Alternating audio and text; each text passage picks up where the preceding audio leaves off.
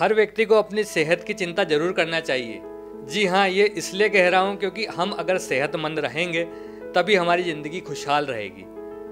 आज MP news की team इसी विषय को लेकर एमपी न्यूज़ के खास कार्यक्रम सेहत आपकी में हाजिर है और हमारे साथ जुड़ रहे हैं डॉक्टर मनीष बिंदल, जो मौसमी बीमारी से लेकर जटिल बीमारी स्वाइन फ्लू तक के बारे में हमें जानकारी देंगे और यह बताने की कोशिश करेंगे कि किस तरीके से इन जटिल बीमारियों से दूरी बनाई जा सकती है और किस तरीके से इनसे पार पाकर हम स्वस्थ रह सकते हैं। मनीष जी एम न्यूज़ में आपका स्वागत है और मैं आपसे पहला सवाल करना चाहूँगा मौसमी बीमारी को लेकर। इन दिनों चिकनगुनिया, स्वाइन फ्लू या बात करें हम डेंगू ये बीमारियाँ ऐसी है जो लगातार देखने को मिल रही है और लगभग लगभग हर घर में एक मरीज़ इस तरह की बीमारियों से पीड़ित है। तो क्या कारण है कि ये बीमारियाँ अपने पैर पसार रही है और किस तरीके से इन बीमारियों से बचाव किया जा सकता है? ये बात आपने बिल्कुल सही बोली कि अभी पिछले तीन चार महीने से ये बीमारियाँ बहुत तेज़ी से बढ़ी हैं। खासकर वायरल फीवर जो चल रहा है, ये एक चिकनगुनिया टाइप वायरस है। अब उसको चिकनगुनिया एग्जैक्टली इसलिए नहीं बोल सकते हैं कि इसका जब टेस्ट करवाते हैं अपन चिकनगुनिया का, वो निगेटिव आ रहा है। लेकिन वो उसके जो सिम्टम्स हैं, उसकी जो सारे प्रॉब्लम्स आ रही हैं, वो चिकनगुनिया जैसी ही हैं। जैसे कि जोड़ों में दर्द, जैसे बुखार जैसे रैशेस पूरी बॉडी में लाल लाल लाल लाल दाने हो जाते हैं और खुजाल चलती है, मुँह में छाले हो जाते हैं। कई बार जोड़ों में दर्द इतना ज़्यादा रहता है कि पेशेंट बिल्कुल रोबोट जैसा बिल्कुल स्टिफ हो जाता है और स्टिफ चलता है। और कई बार जोड़ों में डिफॉर्मिटी भी देखी गई है कहीं कहीं। तो ये इस तरह के जो वायरल डिसीज़ चल रही हैं, वो बहुत देखने में आ रही हैं। इसके अलावा एक डेंगू फीवर और स्वाइन फ्लू, ये दो चीज़ भी बहुत ज़्यादा इस बार देखे गई है। डेंगू फीवर और वायरल फीवर, ये दोनों मच्छरों से फैलते हैं। स्वाइन फ्लू जो है, वो अपने ड्रॉपलेट इन्फेक्शन से फैलता है। अगर कोई जैसे किसी को सपोज़ स्वाइन फ्लू है, वो अगर छींकता, खांसता है तो उससे जो ड्रॉपलेट्स निकलते हैं, वो ड्रॉपलेट्स अगर किसी दूसरा उसके कांटेक्ट में आया तो वो उसको भी होने के चांसेस रहते हैं। तो इस तरह दोनों का फैलने का तरीका बिल्कुल अलग अलग है। लेकिन चूँकि ये बरसात के सीज़न में ह्यूमिड क्लाइमेट है, आर्द्रता बहुत ज़्यादा रहती है ह्यूमिडिटी बहुत ज़्यादा रहती है, उस समय ये इस टाइप के ये वायरस बहुत तेज़ी से बढ़ते हैं। जी, मैं बात करूँगा जो चिकनगुनिया का एक नया वायरस है, जिसे डॉक्टरी भाषा में कुछ लोग उसका चिकनगुनिया का भाई बंधु भी कह के पुकार रहे हैं, जो हालाँकि आपने अभी बताया कि जाँच जब की जाती है तो चिकनगुनिया का वायरस जो है वो पॉजिटिव नहीं पाया जाता है, लेकिन लक्षण पूरे उस बीमारी में वही नज़र आ रहे हैं। तो जो इन दिनों बीमारी घर कर रही है और ज़्यादातर लोगों की को अपनी जकड़ में ले रही है, इससे बचाव के लिए आप क्या सलाह देना चाहेंगे हमारे व्यूवर्स को?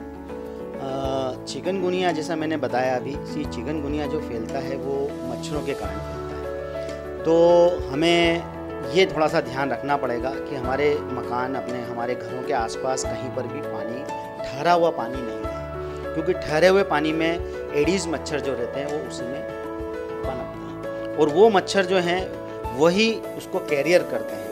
अगर किसी को सपोज़ डेंगू हो रहा है या किसी को चिकनगुनिया हो रहा है और उस पेशेंट को अगर कोई मच्छर काटता है तो वो मच्छर उस वायरस का कैरियर हो जाता है, वो वाहक हो जाता है उस वायरस का। अब वही मच्छर अगर किसी दूसरे को काटेगा तो वो उसको भी वही स्वाइन अपने ये डेंगू या चिकनगुनिया फैलाएगा। तो इस तरह से अगर हम मच्छरों की रोकथाम अगर हम करते हैं तो हम इस तरह से बीमारी को हम रोक पाएँगे। ये सबसे बढ़िया तरीका है और थोड़ा सा इस चीज़ का ध्यान रखें कि मच्छरों से कैसे बचा जाए, मच्छरदानी में सोना है या हम फुल स्लीव्स के कपड़े पहने और जहाँ तक हो सके हमारी स्किन को एक्सपोज करने से बचें। जी, बिल्कुल। मैं दूसरा सवाल करना चाहूँगा आपसे जिसमें स्वाइन फ्लू को लेकर आपसे हेल्थ अवेयरनेस चाहूँगा। बात की जाए पिछले कुछ वर्षों की तो स्वाइन फ्लू को इससे पहले कोई जानता नहीं था और अचानक स्वाइन फ्लू का वायरस देश में अलग अलग क्षेत्रों में देखने को मिला। वहीं बात की जाए मध्य प्रदेश के इंदौर में तो यहाँ भी लगातार उसके मरीज़ देखने को मिल रहे हैं और बात इस वर्ष की की जाए तो मौतों का आंकड़ा लगातार स्वाइन फ्लू को लेकर बढ़ता जा रहा है और स्वाइन फ्लू की रोकथाम के लिए प्रशासन की जो कागज़ी कार्रवाई थी, वो तो हमने देखी है कि कई सालों से चल रही है लेकिन इस बीमारी को लेकर अभी तक कोई ठोस कदम उठाया हुआ नज़र नहीं आता है। तो मैं यही जानना चाहूँगा कि क्या कारण है लगातार स्वाइन फ्लू के जो वायरस हैं वो बढ़ते जा रहे हैं और किस तरह से जो इससे पीड़ित मरीज़ हैं उन, उन वो अपने आप को बचाव की मुद्रा में ला सकते हैं? स्वाइन फ्लू जो फैलता है ये हमेशा आर्द्रता वाले वातावरण में फैलता है। जब भी इस तरह इस तरह अगर ह्यूमिडिटी बढ़ी हुई है टेम्परेचर बढ़ा हुआ है तो इस तरह का अगर वातावरण रहता है तो वो फ्लुएंजा इन्फ्लुएंजा के सारे वायरसेस वो स्वाइन फ्लू हो या कोई और भी इन्फ्लुएंजा वो सभी वायरस सिर्फ़ इसी आर्द्रता वाले उसमें बढ़ते हैं। क्योंकि इस बार मौसम ऐसा रहा है कि कंटिन्यूसली आर्द्रता रहा है और हॉट ह्यूमिड क्लाइमेट रहा है, उसमें ये वायरस बहुत तेज़ी से प्रोपोगेट होता है, उसमें ये वायरस बहुत तेज़ी से फैलता है। जहाँ तक प्रशासन वाली बात है। प्रशासन ने तो अपनी पूरी कोशिश करी है। कहीं ऐसी बात नहीं है।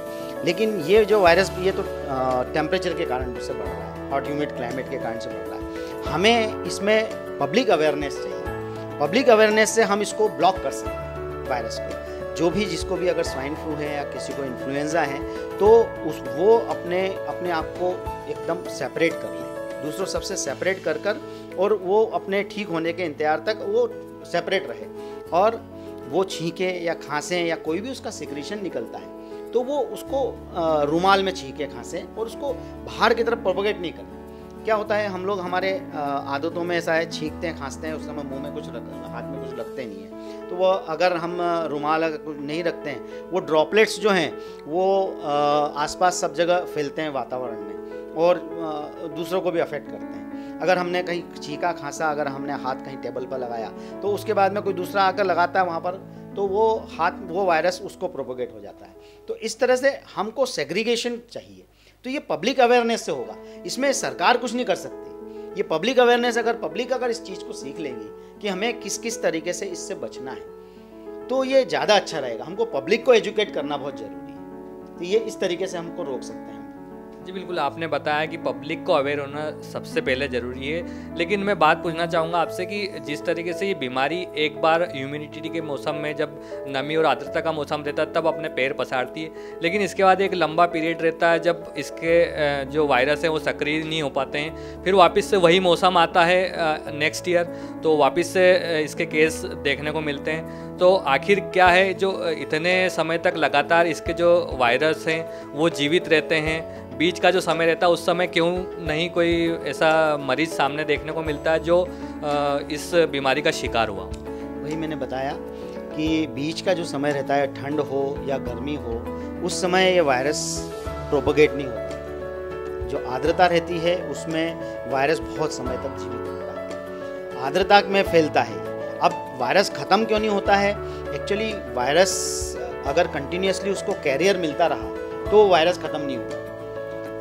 ये हमारा एक्चुअली इंडिया का जो क्लाइमेट है, हमारे इंडिया का एक हॉट ह्यूमिड क्लाइमेट रहता है। हम टेम्परेट रीजन में रहते हैं। हम विश्वत रेखा के आसपास हैं। तो हमारे यहाँ एक तो जो वातावरण है, वो वायरस को प्रोपोगेट करता है। प्लस हमारे यहाँ पर पॉपुलेशन बहुत ज़्यादा है। सब कंजेस्टेड रहते हैं। तो वायरस को एक अच्छा मोमेंट मिलता है। जब इतनी ज़्यादा पॉपुलेशन है, आपस में एक दूसरे से वो इतनी तेज़ी से फैलता है, जब उसको इतने सारे ह्यूमन बींग मिलते हैं तो वायरस बहुत तेज़ी से प्रोपोगेट होता है। तो हमें अगर इसको वायरस को रोकना है तो हमें पब्लिक को एजुकेट करना रहेगा क्योंकि एंटी वायरस कोई ड्रग नहीं है। वायरस को अगर हम स्टार्टिंग में जो स्वाइन फ्लू है, अगर स्टार्टिंग के पाँच दिन अगर हम टेमी फ्लू दें स्टार्टिंग में तो हम उसको रोक सकते हैं। पाँच दिन के बाद में टेमी फ्लू का कोई रोल नहीं है। ये ये चीज़ें अभी एजुकेट पब्लिक को एजुकेट करना है। लेकिन अब इसके बारे में लोग बाग जानते नहीं है कि पाँच दिन के बाद में टेमी फ्लू का कोई रोल ही नहीं है। इवन कई आ, मैं कई चिकित्सकों से भी मिला हूँ। चिकित्सकों को भी नहीं मालूम है कि पाँच दिन के बाद में टेमी फ्लू का कोई रोल नहीं है। कई बार मैंने देखा है दस दिन पंद्रह दिन के बाद में भी उसको टेमी फ्लू खिलाए जाते हैं पेशेंट को। जी बिल्कुल मौसमी बीमारी को लेकर आपने हमारे दर्शकों को जो सलाह दी है वो हो सकता है उसको अमल में लाकर जो हमारे दर्शक हैं वो इन बीमारियों से बच सकते हैं। लेकिन अब मैं एक बड़ा विषय लेकर आ रहा हूँ आपके पास जिसमें इंदौर शहर का जो ज़िक्र पूरे देश में हुआ है, उसकी बात होगी। वहीं जो बीमारियों में भी अगर हमारा शहर नंबर वन बन रहा है, उसकी बात होगी। मैं आपसे सवाल पूछना चाहता हूँ कि पिछले दिनों इंदौर स्वच्छता को लेकर नंबर वन आया है पूरे देश में।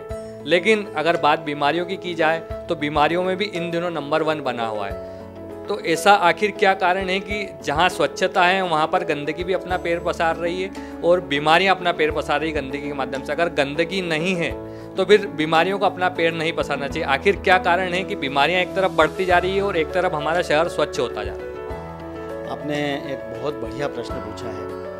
ये कई बार मेरे से कुछ मेरे पेशेंट्स ने भी पूछा है कि क्या कारण है इंदौर नंबर वन हुआ स्वच्छता में और उसके बाद में ये बीमारियाँ इतनी तेज़ी से क्यों फैल रही है? एक्चुअली क्या है, हमारे यहाँ पर जो बीमारियाँ फैल रही हैं, वो हैं swine flu, dengue, viral fever, ये जो चीज़ें हैं ये पब्लिक के आपस में कांटेक्ट होने से या मच्छर से फैल रही है, दो चीज़। वायरल फीवर जो फैल रहा है या डेंगू फैलता है, वो मच्छरों से फैलता है। हमारे यहाँ पर कचरा प्रबंधन बहुत अच्छा हो गया है, बहुत ही अच्छा हुआ है। उससे गैस्ट्रोएंट्राइटिस टाइफाइड पीलिया, ये वाले पेशेंट बहुत कम हो गए। क्योंकि ये पेशेंट्स बहुत ज़्यादा होते थे। मैं पिछले 25 साल से मैं प्रैक्टिस कर रहा हूँ। मैंने देखा है कि इसका इंसिडेंस एकदम ड्रॉप हो गया हमारे स्वच्छता के कारण से। इसलिए इन, अब इंडिया में इंदौर अगर स्वच्छता में नंबर वन हुआ है तो इस टाइप की डिजीजेस कम हो गई हैं। गैस्ट्रोएंट्राइटिस जो पतले दस्त लगना जो पेट में इन्फेक्शन होना जॉन्डिस पीलिया होना है ना टाइफाइड ये सब बहुत कम हो गए ये जो दूसरी बीमारियाँ जो फैली हैं अब मच्छरों का एक्चुअली हमारे पास कचरा तो साफ़ हो रहा है लेकिन हमारे आसपास कूलर में पानी भरा हुआ है उसका हमने ध्यान नहीं रख रहे हैं है ना? हमारे आसपास कहीं गड्ढा है वहाँ पानी भरा हुआ है उसका हम ध्यान नहीं रख रहे हैं। तो नगर निगम ने कचरा साफ़ करने का तो बहुत बढ़िया करा है। लेकिन कुछ चीज़ों में जैसे फॉगिंग हम देख रहे हैं कि पिछले मैं तीन चार महीने से कहीं मेरे को फॉगिंग होते हुए नहीं दिखा। तो फॉगिंग से मच्छर मरते हैं। तो अगर फॉगिंग नगर निगम अगर फॉगिंग भी स्टार्ट करते हैं साथ साथ में तो ये मच्छरों को अगर हम कंट्रोल में कर पाएँ तो हम वायरल फीवर और डेंगू जैसी बीमारियों से बच पाएँगे जी, बिल्कुल इंदौर शहर की जो जनता है, उन्हें अपनी सेहत का ख्याल रखने के लिए स्वच्छता पर तो जंग उन्होंने जीत ही ली है, लेकिन अब उन्हें जो अपना स्वास्थ्य है, उसकी जंग जीतना ज़रूरी है और इसी के लिए इसके लिए उन्हें ही आगे आना पड़ेगा। ये बिल्कुल आपने सही कहा कि थोड़ा नगर निगम को इस ओर भी ध्यान देना चाहिए कि जो फॉगिंग मशीन है, उनका उपयोग जो हर साल किया जाता है दिवाली के पहले मच्छरों को मारने के लिए, वो इस बार नज़र नहीं आ रहा कहीं भी। चलिए, जाते आते मैं आपसे एक सवाल और पूछना चाहूँगा कि जो मौसमी बीमारी है, उस पर तो आपने लोगों को सलाह दी कि कैसे स्वस्थ रहा जाए, लेकिन लाइफ स्टाइल की तो एक सेहतमंद इंसान को लगातार अपने जीवन में जो आखिरी पड़ाव रहता है, जो बुढ़ापे का समय आता है और एक जवानी का दौर रहता है, इसके बीच जो समय गुजारना रहता है, उसमें अपनी लाइफ स्टाइल को किस तरह से वो रखे कि अपने जीवन में बीमारियों को वो अपने से दूर रख पाए? ये आपने एक बहुत अच्छी चीज़ पूछी lifestyle lifestyle diseases बहुत ज़्यादा लाइफ स्टाइल डिजीजेस एक पर्टिकुलर अभी डब्ल्यू ने भी इसके ऊपर एक वो निकाला है कि हम, हमारी लाइफ स्टाइल को सही अगर हम करते हैं तो ये जो लाइफ स्टाइल डिज़ीज़ हैं डायबिटीज़ है ब्लड प्रेशर है हार्ट डिज़ीज़ है कैंसर है, इन चीज़ों से तो हम बचेंगे ही। साथ में जो इन्फेक्शियस डिज़ीज़ हैं, अगर हम लाइफ स्टाइल अच्छी रखते हैं तो हमारी इम्यूनिटी स्ट्रांग रहती है। हमारी रोग प्रतिरोधक क्षमता जो होती है, वो स्ट्रांग रहती है इम्यूनिटी वो स्ट्रांग रहेंगी तो इन्फेक्शन हमको कम और कम होंगे तो इस टाइप की ये चीज़ें जो हमको इन्फेक्शस डिज़ीज़ हैं, उनसे भी हम बचा सकते हैं। तो लाइफ अपने आप में एक बहुत शानदार चीज़ है कि हमें, एक तो मैं आपको कुछ पूरी दिनचर्या बताता हूँ कि जो एक आइडियल दिनचर्या होनी चाहिए, जिससे कि हम अगर उसको अपनाते हैं तो हम बहुत सारी बीमारियों से बच सकते हैं। सबसे पहले तो एक ब्रह्म मुहूर्त में उठने का हमको जो भारतीय संस्कृति कहती है कि ब्रह्म मुहूर्त में उठना चाहिए। ब्रह्म मुहूर्त में सुबह चार बजे, सुबह पाँच बजे अगर उठकर हम नित्य कर्म करके योग क्रिया करें, योगासन करें योगासन करें, घूमें, बाहर तेज चाल से एक्सरसाइज करें। सुबह का दो घंटा, डेढ़ घंटा हमको कम से कम अपने शरीर को एक्सरसाइज व्यायाम, योग और ये इसमें देना चाहिए। उसके बाद में हम नाश्ता करें तो हमारा जो ब्रेकफास्ट होता है, वो एक हेल्दी ब्रेकफास्ट होता है। जैसे अगर हम हमारी भारतीय संस्कृति के हम थोड़ा सा पेज खा लेंगे, अगर हमारे पुराने वेद और उनको आयुर्वेद जो अपने यहाँ पर सुश्रुत और चरक संहिता में सब चीज़ें बोली गई हैं कि हम अंकुरित अनाज खाएँ, फ्रेश वेजिटेबल्स लें, फ्रेश फ्रूट्स लें, फलाहार करें, सुबह के नाश्ते में और दोपहर में भी आप जैसे भोजन करते हैं, उसमें आप पौष्टिक भोजन करें। भोजन का अपने बहुत ज़्यादा महत्व है अपने स्वास्थ्य इसमें अगर हम जो अभी फास्ट फ़ूड का जो चलन चल रहा है फास्ट फ़ूड टीवी और मोबाइल और ये जो चीज़ें चल रही हैं, इससे हमारे जो जीवन लाइफस्टाइल है वो हमारी पूरी चेंज हो। गई और इसके कारण से जो डिज़ीज़ बढ़ रही हैं, जैसे कैंसर के इंसिडेंस बहुत ज़्यादा बढ़ हैं। एक्चुअली हम रेडियो एक्टिविटी एनवायरनमेंट में हम मोबाइल यूज़ कर रहे हैं कंटिन्यूसली मोबाइल से रेडिएशंस निकलते हैं हमारे, हम टीवी देख रहे हैं, हम वाईफाई यूज़ करते हैं वाईफाई से रेडिएशंस निकलते हैं। तो ये जो चीज़ें हैं ये बहुत ज़्यादा बढ़ गई। इसके कारण से कैंसर के इंसिडेंस बढ़ते हैं। डायबिटीज़ के इंसिडेंस बढ़ते आ रहे हैं। क्यों? क्योंकि हम फास्ट फ़ूड का चलन हो गया। हम हम हमारे रिक्वायरमेंट से ज़्यादा खाने लग गए ये भी एक लाइफ स्टाइल में आता है। है ना? इसी तरह आ, हम हमारी लाइफ जो है पूरी सीडेंट्री लाइफ हो गई है। सीडेंट्री लाइफ मीन्स हम बिना एक्सरसाइज के कंप्यूटर पर बैठेंगे टेबल कुर्सी पर बैठते हैं कोई वर्क नहीं कोई कुछ नहीं। इसके कारण से diabetes blood pressure heart disease बढ़ती जा रही है। तो ये लाइफ स्टाइल डिसीजेज जो हैं, वो बहुत ज़्यादा बढ़ती जा रही है। इसका हम लोग ध्यान रखते हैं तो इन चीज़ों से बचा जा सकता है बिल्कुल सेहत आपकी कार्यक्रम में एमपी न्यूज़ के साथ जुड़े थे डॉक्टर मनीष बिंदल। उन्होंने हमारे दर्शकों को सलाह दी है कि किस तरह से हमारे शरीर को स्वस्थ रखा जा सकता है और मौसमी बीमारी से लेकर लाइफ स्टाइल में कुछ बदलाव कर हम अपनी सेहत को सुधार सकते हैं और जीवन को खुशहाल तरीके से जी सकते हैं। अगले हफ़्ते फिर मुलाकात होगी नए विषय के साथ। आप जुड़े रहिए एम पी न्यूज़ पर और हमारे official Facebook page M P news पर अपनी राय दीजिएगी कि यह प्रोग्राम आपको कैसा लगा। वहीं आपसे जुड़े हुए बीमारियों के जो सवाल हैं, वो हम लेकर अगली बार आपके सामने हाजिर होंगे और आपके सवालों के जवाब के साथ किसी नए विषय पर या किसी नई बीमारी पर आपसे चर्चा करेंगे। तब तक के लिए नमस्कार।